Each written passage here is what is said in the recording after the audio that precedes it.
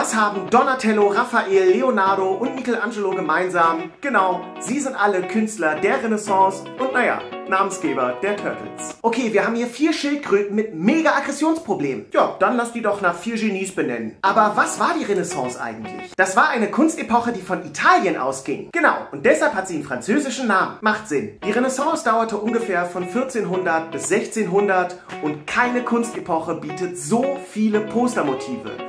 Also wirklich, wirklich, wirklich viele. Renaissance heißt Wiedergeburt. Da ging es darum, die Antike wieder aufleben zu lassen und weiterzuentwickeln. Der Mensch wurde intensiv studiert, Porträts wurden individueller und man erforschte die Anatomie. Außerdem benutzte man wieder die Zentralperspektive, also dass Objekte kleiner werden, je weiter sie weg sind. Im Mittelalter hat man nämlich oft die Bedeutungsperspektive benutzt, also wichtige Leute groß, unwichtige klein. In diesem Sinne, ciao.